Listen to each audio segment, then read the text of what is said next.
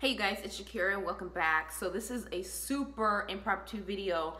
Um, I have to go pick up my son from uh, study session, but I realized I had not filmed not one video talking about my healthy Thanksgiving options. So I'm gonna do that now. So this is gonna be so simple, it's ridiculous. I got these two packs of Brussels sprouts. These are actually pre-prepped. They are sliced in half and of course, if you have to prepare meal a meal for a large group of people, you'll want to times this by whatever, how you know, five or how many people that you need. But but anyhow, I got these from my local Kroger, which is a grocery store out here in Texas. And so, you know, wherever you, actually, let me show you this before I put my Brussels sprouts in here.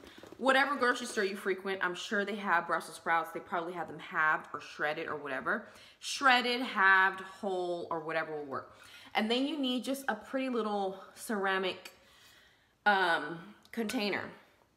This was this is a part of a set that I got from QVC uh, like two years ago.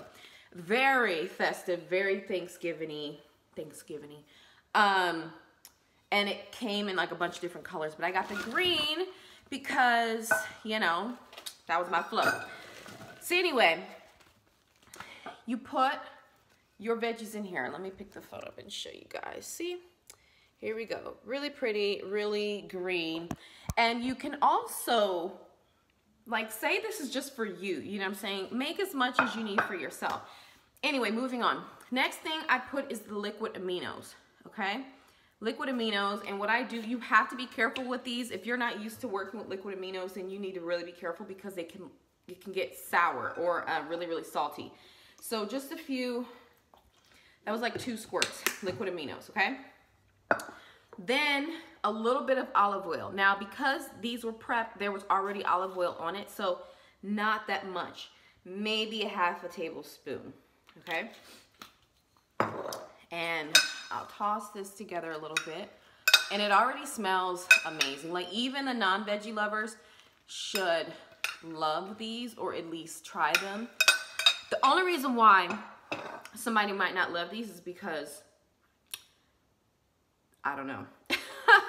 if they Because they're just a hater when it comes to the greens. So anyway, so then you have all, you can do fresh herbs and spices or you can do dry. Like here I have thyme, I have basil, I have parsley, I have onion, I have oregano. Use whatever you want. I have put sage in this. I have, I mean, usually when it comes to Thanksgiving, I put all the Thanksgiving herbs into what I'm making. So, um, actually, I'm gonna I'm gonna leave basil out because I really want this to be very Thanksgiving-like. So we'll do the thyme. So a lot or a little, depending on you know, you know who likes what at your Thanksgiving situation. I'm gonna do organic parsley you know, I like dried is convenient because sometimes when when it comes to, you know, and we'll give this a toss, you know, things start to go bad. You know what I'm saying? So now, smells amazing. It would, but it would smell and probably taste even more amazing with the fresh. I just have a thing. Um, I'm gonna put a little bit of oregano because that to me is a Thanksgiving uh, herb as well. Even though oregano and basil are more like the, you know, what am I trying to say, you guys? More like, like Italian spices. So then you got your organic minced garlic. You could totally, and I dropped this the other day, so it's a little bit nasty. Um, you could totally, you know, do your fresh garlic and mince it on your own. But when it comes to Thanksgiving, make things as easy for yourself as you can. So I love garlic, so I'm putting a lot. Obviously, you can omit that if you are not into garlic. And so I love garlic so much. Actually, I mean, I do love garlic a lot. So I thought that this was garlic powder, but this is onion powder. So, mm, love onion powder. Okay, so just sprinkle that in. And then last but not least, I love a smoked paprika. I got this from, what's the name of that place? Um, TJ Maxx. So, I use smoked paprika and everything, even when it comes to Thanksgiving. And it has this cute little measuring situation.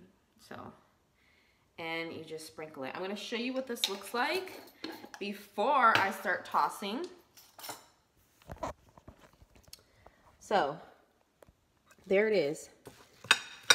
This is what we have, and then you just toss everything all together.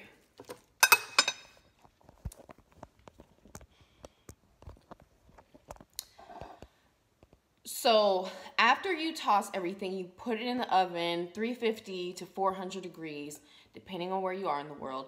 And then, um, you know, you let it roast.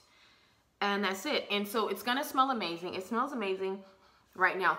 For any raw vegans, you can eat this just like this. It's actually quite delicious just eating it just like this. But I'm going to actually let this kind of hang out in the spices, hang out in the liquid aminos, marinate a little bit, and then I'm gonna pop it in the oven and I'll show you guys the finished product in a little while. And here is the finished product. Look, oh my gosh, these are gonna be so good. This is the finished product, you guys. This will be a hit at Thanksgiving. Trust me. And those are my kids in the background acting a fool. But yeah, finished product. Um, let me know if you try it.